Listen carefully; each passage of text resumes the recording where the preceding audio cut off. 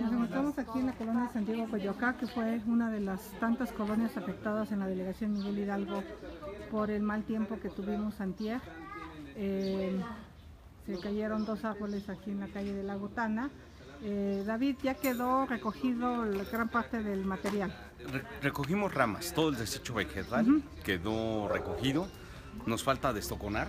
Ajá. Por ejemplo, este árbol sí se requiere ahí una maquinaria especializada.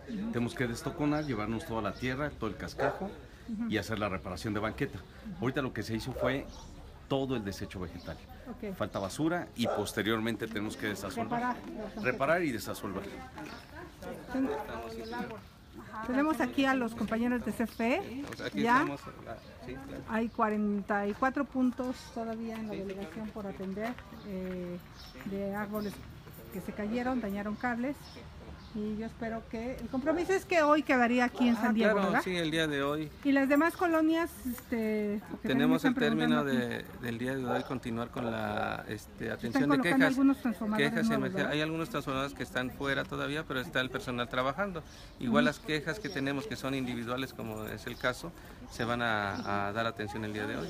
Bueno, Durante hoy, la mayoría son personal de las 24 horas que está pendiente y ya hicimos eh, la gestión del personal para que se quede en la noche. Ok, no, nosotros sí ahora sí tenemos que hacer. bueno, como pues este, hay el compromiso de CFE. Vecinas, ya no se enojen. Hoy queda resuelto el tema de la luz. Bueno, ¿Qué? sí, y le encargo esto. ¿qué más tendremos pendiente? Esto, bueno, eso ya David está tomando cartas en el asunto.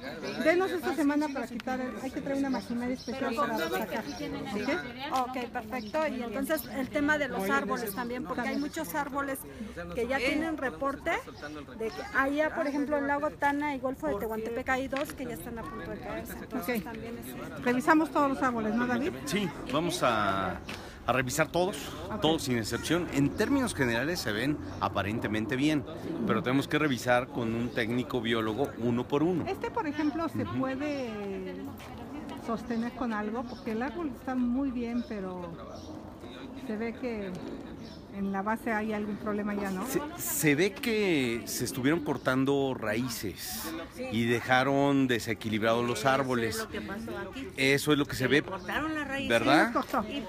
Mm, Pero esto se ve vinieron a como... poner la, la Vinieron a banqueta, poner la banqueta, la acaban de poner. Sí, la acaban de poner Sí, y le comenzaron la a cortar raíz. Hay que Entonces, Que ver quién vemos unos, algunos cortes de raíz de hace dos, tres años, recientes, pero no tan recientes. Este Sí. se fue reciente porque pusieron la banqueta. Hace como tres meses. Sí, Este apenas. Entonces Ok. revisa ahí al costado de Sí. raíces, ¿no? Hay Mire, algo que el no mío- está bien. El mío también, mire ya cómo va.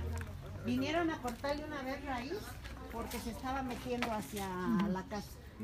Entonces vinieron, le A cortaron. este también le cortaron raíz. a este también le cortaron raíz, pero ya tiene como dos años. Pero no tiene Pero tanto mire, peso ya este. abrieron esto. Pero no, no porque le acaban de quitar con el árbol que cayó.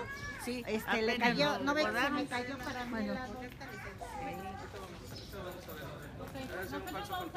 Y este es lo que vamos a podar.